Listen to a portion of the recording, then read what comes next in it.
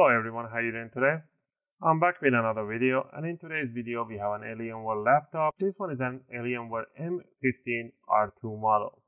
And in this video I'm to go over how you can upgrade the hard drive and what are the combinations that you can have in here and what, what is the best thing that you can do in here for you. Usually they come with an uh, 500 gig or 1 terabyte in a RAID format that makes it a little faster but you're pretty much compensating uh, liability for something else. And this one actually comes with an 500 gig with uh, two SSDs installed running at RAID 0 that makes it a 500 gig hard drive. So pretty much it just combines both of them together. So the best thing you can do in here uh, is first back up the files. Just remember, as soon as you upgrade the hard drive, replace them, you will not have any operating system or your main files, everything is going to be on the old one. So I'll recommend you guys to upload them to a cloud or on an external hard drive. Once you have backed up your files, next also you need to make a Windows 10 or Windows 11 USB boot uh, USB boot drive. I um, made a video how to create your Windows 10 and the same procedure goes for Windows 11. Uh, USB boot drive, it's all free. You don't need to purchase or anything like that. Before you do anything, you want to log into your Windows in your laptop make sure you have your Microsoft account associated with the Windows that you have in here.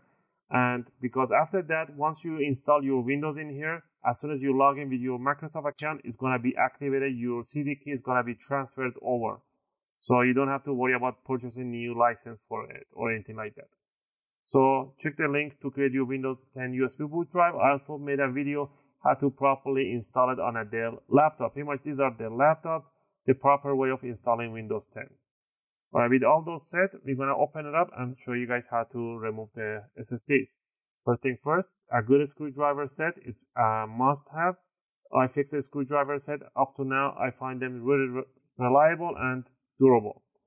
We're gonna be using a Phillips number one. These are made out of S2 class steel. If you get the Pro set, they give you a tweezers and some opening tools. If not, grab a in basic set like me. And for the opening tool, I'll be using a guitar pick. And metallic guitar picks are really suitable to opening cases and covers. And with those on hand, you can grab yourself a spatula, a plastic spatula that you can, it comes with a pro set, but if not, just find a plastic rod or anything like that. Anyway, so down here, we're gonna remove two screws completely, which are at the back two here. So remove these two screws at the back end one on each corner. These screws completely come out and they are the same size. The rest of the screws will not come out entirely because they have a little C-lock on the other side that will prevent them from coming out and they have a purpose. Those C-locks, what it does, it helps to push the cover away from the case. So as soon as you start opening the case, the screws, you're gonna see that the cover is gonna be pushed away from the bottom side. So that's the advantage of having the C-lock. So loosen up the screws. Also, if you guys like my videos, if my videos are helping you guys out to do your own upgrade, and you can support the channel by clicking that like and uh, subscribe. I really appreciate it. It helps and motivates me to make more videos, take requests, and answer your questions in the comment area. Alright, once you remove the screws, all you need to do is grab the opening tool your fingernail, put on the front end and lift it up. Bring it up and pull it towards yourself so you can release these hinges at the back. Then you're to put it to one side and right away you can see the battery and the two small crappy M.2 that they gave it to you. These are short M.2 which are really horrible. They overheat and they don't last long time. So we're going to remove these two and we're going to install the new M.2. There must be an NVMe. Do not put M.2 SATA. The best brands I recommend you is an Samsung uh, 980 Pro or 980 normal. The normal version, I recommend you a Samsung Evo Pro, which are really durable and they will last you many many years.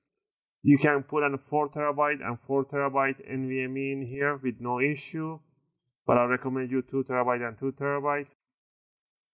Alright, the NVMEs, they have a little cut on them. The M.2 SATA, they have a two cut notches right on them. So if your has a two notch, it will not go through here, it will not work. Make sure your NVMe has to have a one notch right in there.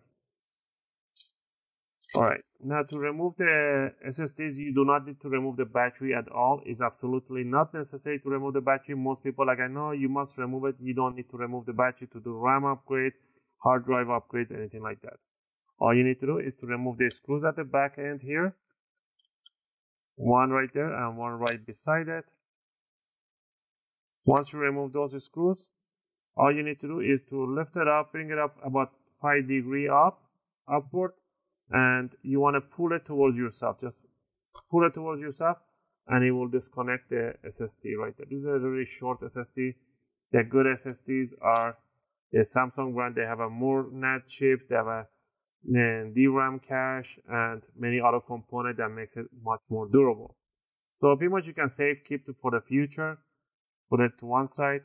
You don't need to transfer any heatsink from here to this one. And all you need to do, grab the new one, and down there, you're gonna see a little notch right there. The SSD is supposed to go. So you wanna bring it down, make sure the notch matches the notch on that corner. Bring it down in five to 10 degree towards there. And you wanna push it towards the motherboard. Make sure it goes all the way in. And the, the screw hole has to match right in here. Once the screw hole matches, that should be all. Now you can just simply put the screw right on top of it and tighten it up. Okay, same thing for this one. You can only remove this SSD, bring it backward, put it to one side, grab your second SSD. It can be a different brand. They don't have to be the same exact brand. You can get one cheap two terabyte for your files and one good terabyte, two terabyte a good brand for your operating system or vice versa. Put a tiny screw right on top of it. There we have it, just like that. This is Western Digital, pretty much it's just a whole empty space in here. DRAM is right here, DRAM cache is right here. Even this is better than the garbage that they give you. Anyway, this is for the demo. I'm not actually going to put it on. Also, remember the link to creating Windows USB. It's in my video description. And you can look it through there. To remove this one, you have to bring it in 510 degree and pull it back. 510 degree. Don't lift up too much, otherwise you're gonna break the jack. You wanna bring this main one and align it right there and push it all the way in and bring it down. Same thing in here. And put the two screws right on top. And that should be all. If you guys have any question or request, feel free to leave them in a video comment. I'll try to answer them as soon as I can. So once you put those ones in, if you have disconnected the battery, just push it back in. Grab the bottom case, put the back end slider right under the back cover, bring it down, and start tightening up the screws, and the screws will pull cover, pull the cover back to itself. And that should be all for this video. I'm just gonna finish up putting up the screws. As always, thanks for watching, and I hope to see you guys in my next video.